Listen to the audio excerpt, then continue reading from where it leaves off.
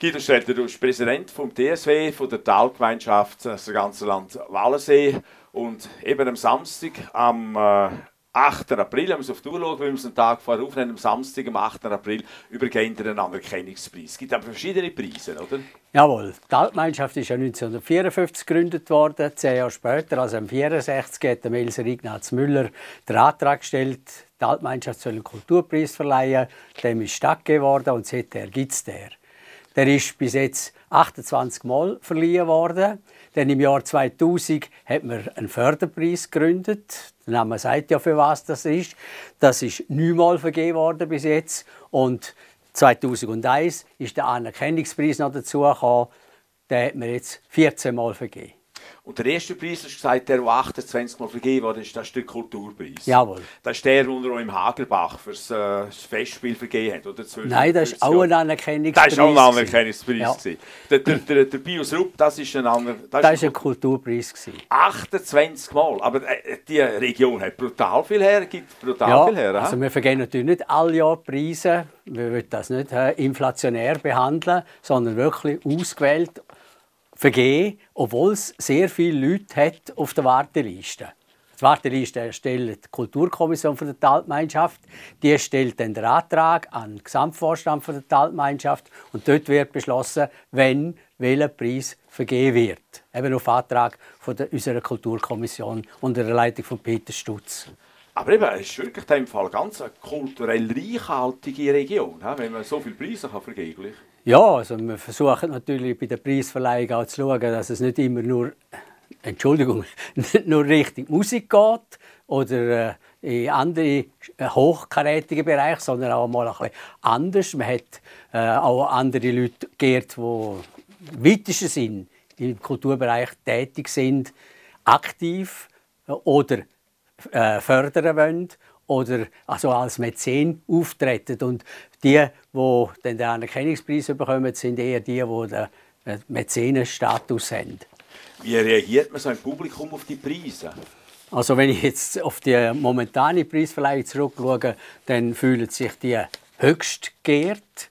Die sind fast ausgeflippt, dass sie nach so kurzer Zeit äh, den Anerkennungspreis bekommen. Letztes Jahr, im 2016, sind sie mit dem Wagentheater durch das ganze Land tingelt, vom Wallensee bis zum ins Daminental. Und äh, diese Sache wollten wir anerkennen. Obwohl, es gibt einen Vorläufer, der Hans-Bernhard Hobby aus Sagans ist schon mal vor Jahrzehnten mit dem Wagentheater unterwegs gewesen. Die junge Crew hat das wieder aufleben lassen.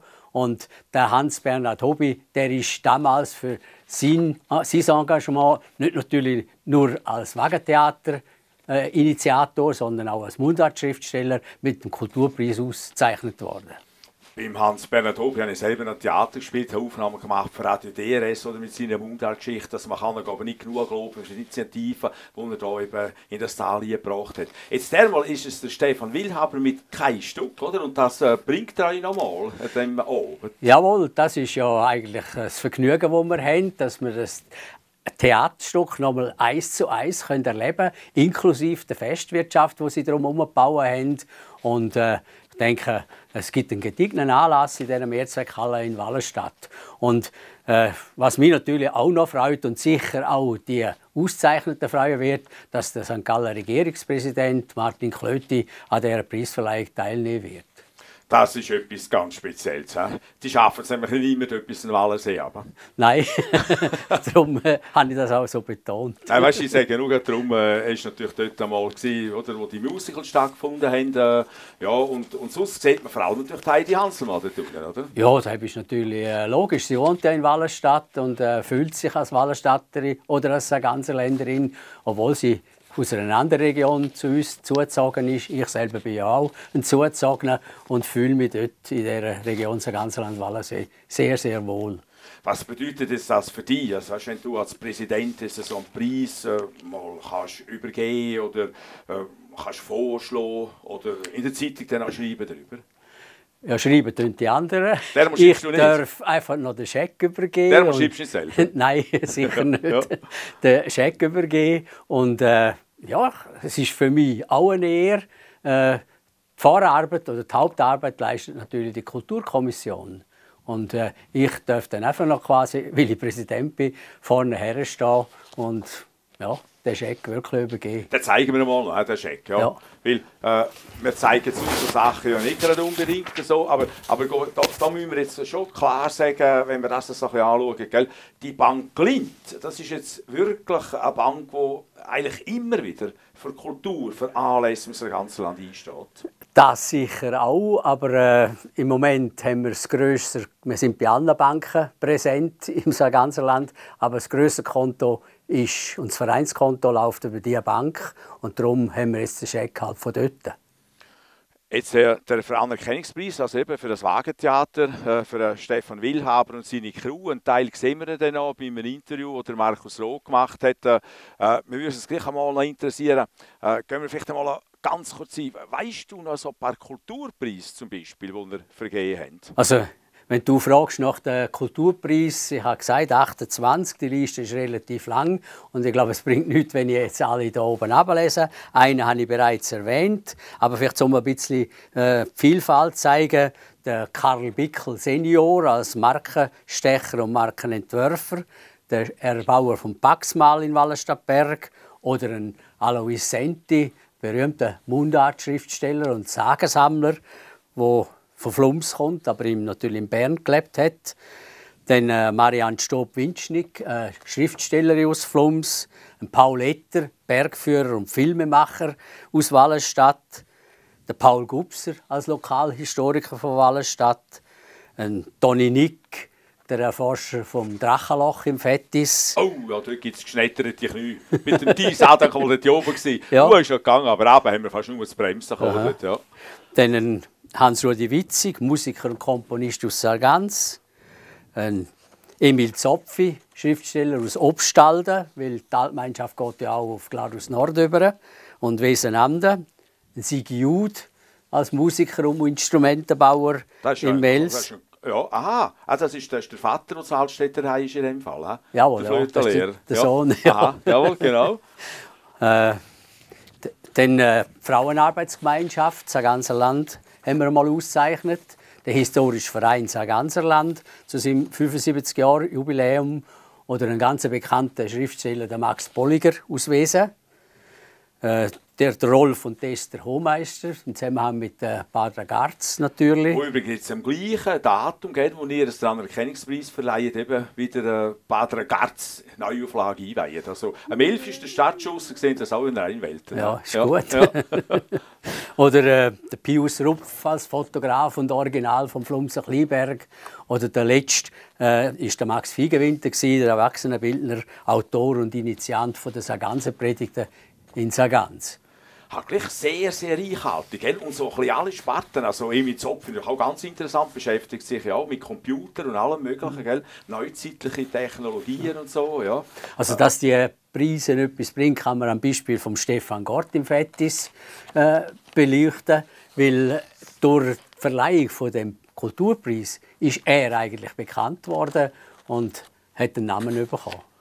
Eben, das habe ich bei Mengen auch gedacht. Und wenn man so die Namen hört, dann fällt Mengen aus den ganzen Ländern rein. Oh, das ist ja einer von uns, der war schon da daheim gewesen. Man kennt es dann vielleicht und so. Und ein Haufen strahlen ja nach außen aus. Also ich denke so an Senti oder auch an Hans B. Hobby. Also ich kann mich erinnern, der hast du es glaube ich nicht erwähnt, Kulturpreis. Hat er den auch mal bekommen? Ja, das habe ich ah. in der früheren ah, ja, genau. Episode schon oder erzählt. Der, der, hat natürlich dann auch, auch nach Bern und in weitere Teile der Schweiz mit seinem Theater natürlich immer wieder eine grosse Verbindung gehabt. Unterschätzt manchmal, was er gemacht hat. Also, er hat nicht nur seine Theatergruppe und Kantigruppe gehabt, sondern das Wagentheater, sondern eben, er hat natürlich auch mit Berner Theater und anderen zusammen geschafft. So.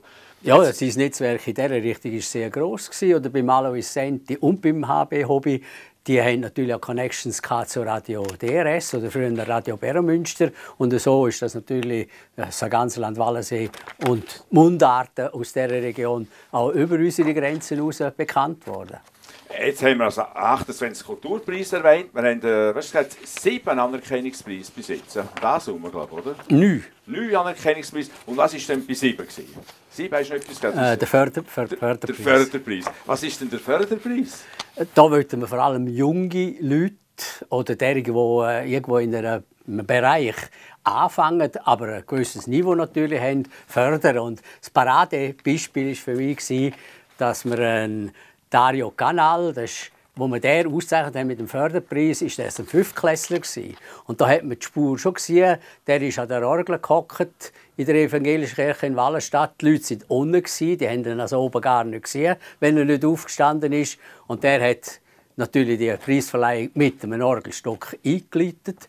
Und ja, nachher ist es gross Staunen gekommen, dass man so einen Bub auszeichnet. Und wenn man dann seine Entwicklung anschaut, wie er sich jetzt äh, entfaltet hat, dann ist das sensationell. Heute ist er Organist und äh, äh tritt an Konzerten auf, in Kirchen.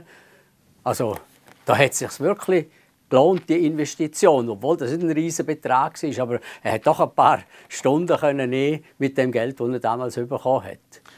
Sensationell ist natürlich auch, was du geleistet hast. Auf da kommen wir zu einem späteren Zeitpunkt im Mai, dann, wenn es dann mal eine Kartofahrt geht und du dann das Präsidium abgibst, noch zurück. Aber gell, äh, so 15 Jahre Präsident DSW, das ist schon auch etwas, was einen beschäftigt, was einem auch erfreut, aber natürlich eben auch, wo man sehr engagiert muss dahinter sein. Also ich denke schon, es gibt keinen Tag ohne TSW in meinem Leben. Also seit 15 Jahren sowieso als Präsident und schon vorher in anderen Funktionen und wahrscheinlich auch in Zukunft eben vielleicht ein bisschen geruhsamer oder ein bisschen spezialisierter auf gewisse Themen. Vielen Dank, gell, Guido Städtler. Wir von Rheinwelten können leider am Abend nicht dabei sein bei dieser Verleihung, aber wir bringen jetzt ein Interview von Markus Roth mit dem Stefan Wildhaber und dort geht es um das Wagentheater. Sie sind damals haben sie in Wels gespielt, das war der Sommer. Gewesen. Der, mhm. das Jahr findet glaube kein Wagentheater statt, aber glaube, das nächste Jahr können wir sicher wieder darauf bauen. He? Nächstes Jahr oder im 19. Also irgendwo gibt es sicher eine Fortsetzung, aber ich kann das Jahr noch nicht genau sagen. Und etwas kann ich ja sagen, dann gibt es ein Stück und nicht wieder kein Stück wie das Jahr. Aber es war auch spannend. ja, genau. Also, in dem Fall das Interview von Markus Roth mit dem Stefan Wildhaber. Der heutige Tag bei Rheinwelten geht um das Wagentheater Sarganserland. Das Wagentheater Sarganserland heute Gast in Melz. Alles ist schon aufgebaut, parat. Stefan Wildhaber, Regisseur, Autor, Initiant. Wie ist es zustande gekommen, dass das Wagentheater Sarganserland wiederbelebt worden ist? Es ist natürlich eine Institution gewesen, schon früher und der Wunsch bei verschiedenen, die mitgespielt haben, war gross, das wieder mal zu machen. Sie haben es auch probiert, das ist aber nicht zustande gekommen und jetzt, 2016, kommt es wieder, läuft es wieder, ja.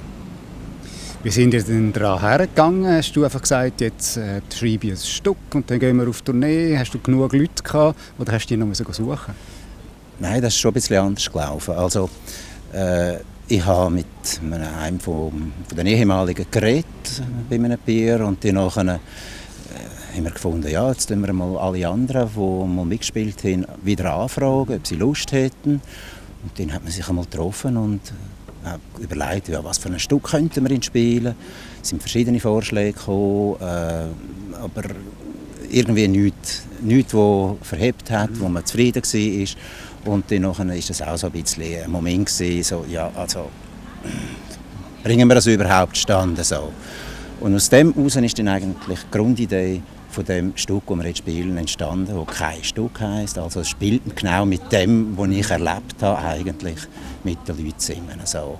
Und so ist es auch sehr auf das Stück auf die Leute zugeschnitten, die mitspielen. Wie bist du vorgegangen? Bist du dann ins äh, dunkle Kämmerli, hast Licht gemacht und angefangen zu schreiben, ganz allein? Wie ist der Prozess abgelaufen dir? Also eben, es war eine Grundidee, die ich hatte und habe das dann präsentiert und habe auch gefunden, mal, das könnte etwas geben. Und dann habe ich gesagt, gut, aber ich will, äh, ich will dass wir den Prozess, den Schreibprozess begleiten. Ja. Also ich habe dann ähm, ein Stück geschrieben einmal und dann haben wir das angeschaut miteinander, darüber diskutiert, das Feedback eingeholt, die Meinungen, die gekommen sind, es sind neue Ideen reingekommen mhm. und ich habe dann geschaut, wie kann ich jetzt hier weiterknüpfen und das haben wir etwa zwei, dreimal gemacht.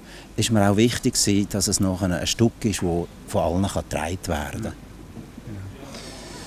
Das Stück haben wir nachher entwickelt, hast geschrieben, habt geübt. Es heisst ja Wagentheater und ihr geht von Dorf zu Dorf. Das haben wir natürlich von früher übernommen. Was ist denn da speziell daran, an dem Wagentheater im Gegensatz zu einem fixen? Also ich denke, es ist natürlich schon äh, die Idee aus dem Mittelalter mit diesen Wander- und Gauklertheater, wo zugrunde liegt. Und ähm, es ist kein Volkstheater in dem Sinn. Das will man auch nicht, weil das, das wird ja in der Region sehr stark gepflegt und das ist wunderbar.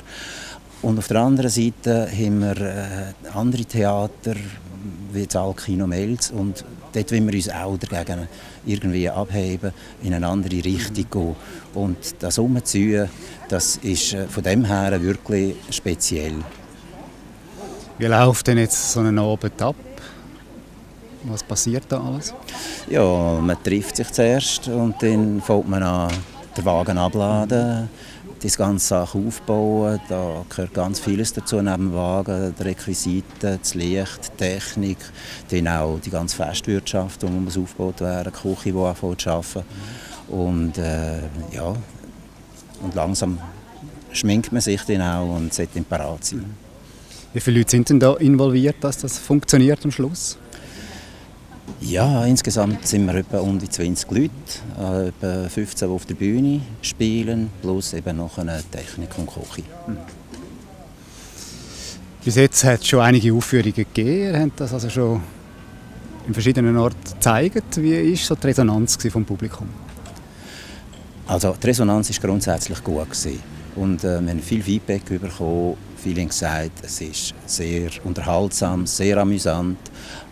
Die Leute finden auch, man muss aufpassen, man kann nicht einfach zurücklehnen und sich da äh, wie bei anderen vielleicht amüsieren, sondern man muss aufpassen, man muss dranbleiben, weil ganz viele Gags in dem Sinn sind versteckt, ähm, mhm. sind nicht so offensichtlich. Es hat auch offensichtliche darunter und das ist noch lustig. Ähm, am einen Ort wird über etwas gelacht, wo am anderen Ort vielleicht weniger gelacht ja. wird. Oder es ist ja nicht immer nur das Lachen, das eine Reaktion mhm. ist, es gibt ja auch andere Reaktionen. Ja, ja aber mal, wir sind sehr zufrieden mhm. von den Publikumsreaktionen her. Ja. Etwas, was wir nicht beeinflussen können, ist natürlich das Wetter. Also das heisst, das Wagentheater wird einmal angesagt und wenn es dann ein Gewitter gibt oder so, dann müssen wir absagen. Ja, das ist, ist richtig, ja. Äh, bis jetzt haben wir natürlich ein riesiges Glück gehabt. Wir haben jede Aufführung können machen und im Moment sieht es aus, wie es auch weiterhin, mhm. zumindest diese Woche, sicher gut ist. Ähm, aber eben, das Wetter nicht mitmacht, müssen wir absagen. Wir haben in gewissen Orten Alternativen, wo wir äh, unter Dach können, aber äh, eigentlich nur dort, wo wir gerade auch mit dem Wagen können reinfahren können. Es ist eine Diskussion, ob man auch spielen soll äh, wenn der Wagen vielleicht nicht gebraucht werden kann. Das heisst, mhm. man spielt ihn irgendwann auf einer Bühne vielleicht. Mhm. Aber da sind wir sehr äh, teilt. Es gibt mhm. also Wagentheater-Puristen, die sagen, geht gar nicht. Wagentheater muss auf dem Wagen sein. Ja. Jetzt 2016 hat das Wagentheater angefangen, macht noch einige Vorstellungen. Wie sieht die Zukunft aus? Gibt es wieder einmal ein Wagentheater im ganzen Land? Ich hoffe schon. Also, aber es wird so sein, wenn die Tournee fertig ist, dann geht man auseinander. Es ist ja nicht eine fixe Theatertruppe, sondern die löst sich dann an und für sich wieder auf. Der Unterschied zu früher ist, wir haben heute einen Verein. Wir haben es auf, äh, auf Vereinsebene gebraucht, das Ganze. Und der Vorstand, der wird bestehen bleiben und ganz sicher auch, äh, vielleicht, ich sage jetzt einmal in frühestens zwei, drei Jahren, äh, wieder aktiv werden und, und wieder eine Tournee in Angriff nehmen oder zumindest planen. Das denke ich ja. Eben, dann besteht die Chance, dass es jetzt wirklich auch in Zukunft weiter besteht, gerade auch von man der will, Re ja. Resonanz der Besucher. Ja, man wird, man wird mit einer gewissen Regelmäßigkeit wieder können das Wagentheater mhm. spielen ja. Etwas, was ihr auch macht, ist, dass im Dorf natürlich ankündigen Da gehen wir jetzt dann auch noch mit und zeigen das. Äh, wie sind ihr da drauf gekommen? Das hat man im früheren Wagentheater auch schon mal gemacht. Mhm. Also, wir haben es einfach wieder aufgegriffen. Aber es ist nicht jedes Mal gemacht worden. Aber es ist noch lustig, wenn wir so durchs Dorf gehen und die Leute damit auch einladen. Also haben wir sehr viele glatte und äh, ja, glatte äh, Begegnungen. Und viele Leute sagen, mal, das ist lässig, äh, da fühlt man sich dann wirklich auch eingeladen zu kommen. Ja. Dann lassen wir dich springen, dass du das auch kannst machen kannst. Wir zeigen da Sequenzen und natürlich auch noch ein bisschen etwas vom Theater. Vielen Dank, Stefan Wildhaber. Danke auch. Merci.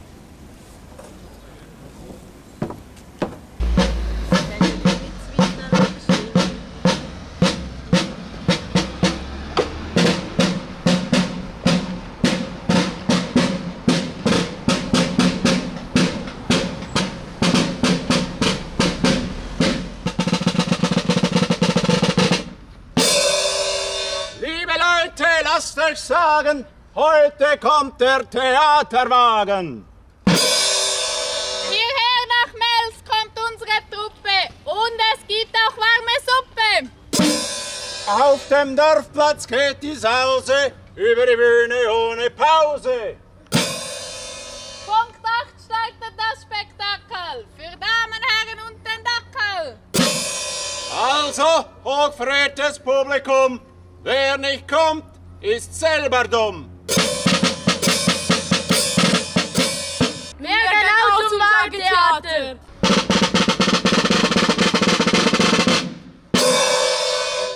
Und ihr geht?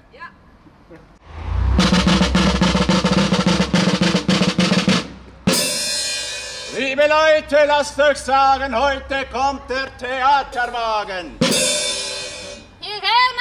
Reist unsere Truppe und es gibt auch warme Suppe. Auf dem Dorfplatz geht die Sause über die Bühne ohne Pause. Punkt 8 startet das Spektakel für Damen, Herren und den Dackel.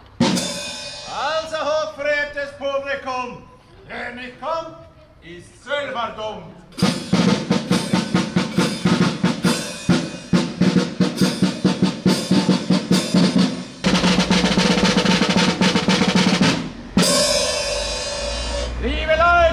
Lasst euch sagen, heute kommt der Theaterwagen. Hierher nach Mels reist unsere Truppe und es gibt auch warme Suppe. Auf dem Dorfplatz geht die Sause über die Bühne ohne Pause. Punkt 8 startet das Spektakel für Damen, Herren und den Dackel. Also, hochverehrtes Publikum, wer nicht kommt, ist selber dumm.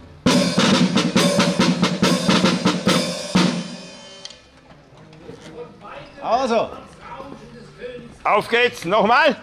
Und von weitem hört man Rauschen des Königs Eierschleifmaschine sausen. Man nehme ihm das linke Ei. Gnade, Gnade, vergiss mit Schokolade. Das ist Theater, aber kein Wagentheater. Ja, ist gut.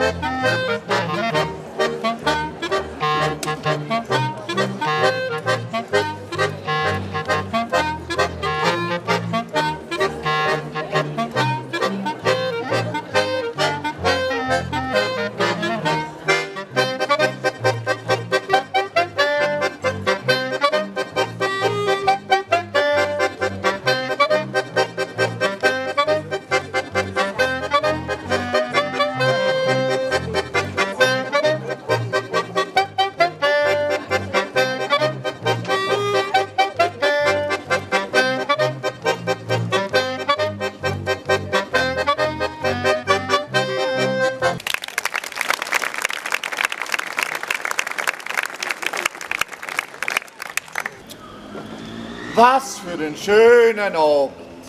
Ja, du. Gibt es jetzt immer häufiger. Meinst Ja, wegen dem Klimawandel. Das sagt mir doch etwas unternehmen. Gegen den Klimawandel. Nein, wegen dem schönen Abend. Aber was? Keine Ahnung. Es läuft ja nichts im Dorf. Ja, wie immer. Nicht nüs. Ja, sag nicht. Was läuft denn da? Geht, glaube ich, um ein Theater. Ja, das gibt's immer. Und überall. Jesus, ja. Ja, sag nicht. Nein, eben ein richtiges Theater. Ja, dann erzähl mal. Ja, eins auf Räder. Ja, so, so, so ein Rädertheater also. Nein, eins mit einer Bühne drauf denkt. Ein fahrendes Theater. Ja, fast. Ja, du meinst das Wagentheater. Ey, präzis. Und das gibt's jetzt wieder. Ja, was sagt's? Das letzte Mal ist aber schon eine Weile her. Das sind sicher schon gut 15 Jahre her. Ja, du. Wie die Zeit vergeht. Ja, sag nicht. Aber sag jetzt einmal, woher weißt du das mit dem Wagentheater? Ist denn etwas in der Zeitung gestanden?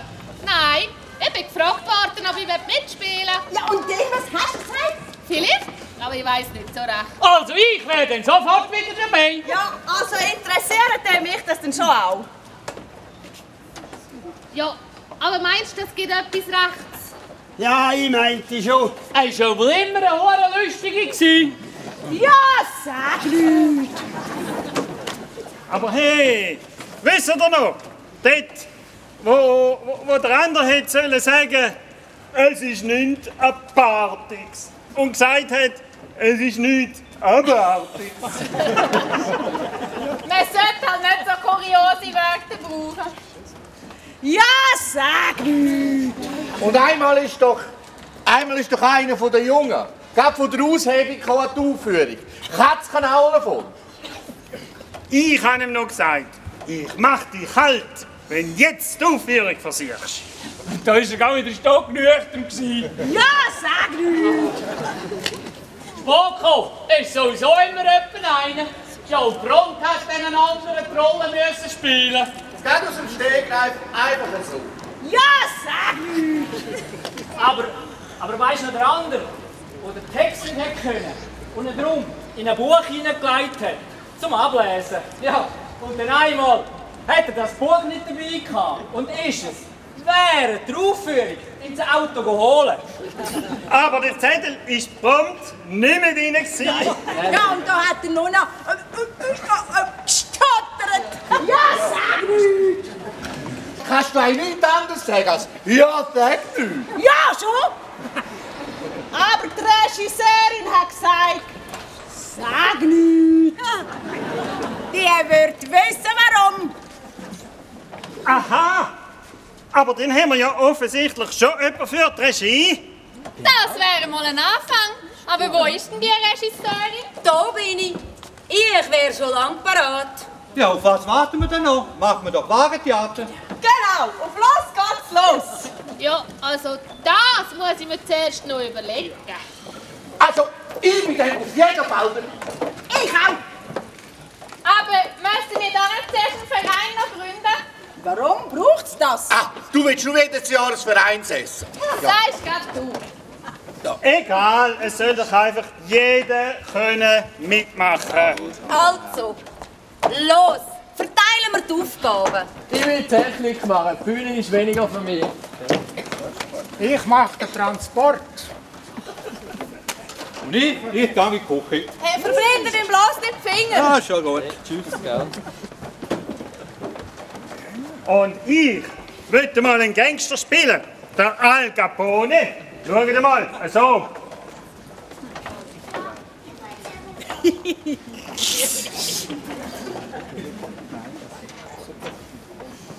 Du laufst, Junge, wie ein trächtiger Giraffe. Also an deinem Gang solltest du dann schon noch ein bisschen arbeiten. Also ich, ich wäre auch gerne einmal eine Hex. Da müsstest du dich weder schminken noch verstellen. Du, du kommst mir gar schleifen, du. Ah. Und ich sehe mich auf der Bühne als Prinzessin oder so. Ich leg doch so gerne Röcke und schöne Kleider an. Ha, was meinst du eigentlich nur du kannst Prinzessin spielen? Ich sehe wenigstens aus wie eine, nicht wie du. Sag grad die, die nie keinen Mann bekommen hat. Da wäre ich mir also nicht so sicher. Was meinst du jetzt da damit? Dein Mann war nicht so zimperlich. gewesen. Was? Hey, stopp! Aufhören! Kiffeln könnt ihr nehmen woanders. Ja, also, genau. Also, ich. Ich habe ja sehr viel Bühnenerfahrung. Ich habe schon ganz verschiedene Charakterrollen gespielt. Ein grosser Spa Startspieler, das wäre jetzt genau das Richtige für mich. Der machen wir, der Michael Jackson. Das ist doch kein Schauspieler gewesen. Aber der ist auch sehr oft auf der Bühne gestanden. Das kannst du doch nicht vergleichen. Also, mein Traum wäre mal der Winnetou zu sein, mit Federschmuck und so. Und ich sehe mich gerade als Old Shatterhand. Und ich, ich, die Schwester vom Winnetou. Hey, hören! Wir spielen doch hier nicht ein Indianerlied. Schließlich sind wir das Wagentheater Kultur auf Rädern. Vergessen das nicht. Schade, warum muss Kultur immer so ernst sein? Ähm, von wegen Ernst. Spielst du wieder der Al Knusti? Sicher nicht. Jetzt wollte ich mal der junge Liebhaber sein. Vergiss es! Für das ist es jetzt wirklich spät. Warum? Es ist doch erst Viertel ab acht. Ja, sag nichts. Und ich will jetzt sagen, Ruhe. Können wir endlich anfangen? Wir sollten jemanden loslassen. Machen jemanden Rat. Also,